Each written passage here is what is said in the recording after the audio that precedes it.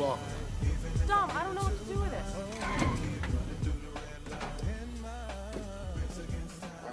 What the hell is this? What do you got there? This is your car. My car? I said a 10 second car, not a 10 minute car. You could push this across the finish line or tow it. Couldn't even tow that across the finish line. No faith. Oh, I have faith in you, but this isn't a junkyard, this is a garage. Hey, pop the hood. Pop the hood? Pop the hood. Two JZ engine, no shit. And what did I tell you? I retract my previous statement. You know what? This will decimate all after. You put about 15 grand in it or more if we have to. Overnight parts from Japan. We'll put it on my tab at Harry's. Yes!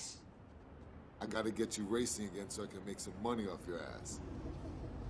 There's a showdown in the desert called Race Wars, and that's where you'll do it. I'll tell you what, when you're not working at Harry's, you're working here. If you can't find the right tool in this garage, Mr. Arizona, you don't belong near a car. He owns you now.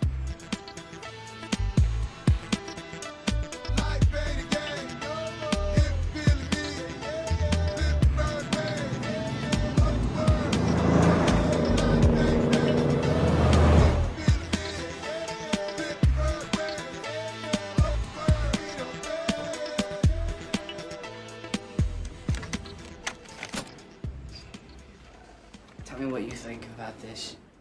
Koni adjustables. Gonna save us about two pounds. And they're gonna give us better traction for the hole shot. Alright? This is your basic layout of the car, and that's pretty much what it could look like when it's finished. Red, green, Man, you should be going to MIT or something. yeah, right. Now I got that. Oh, what's it called? That attention disorder.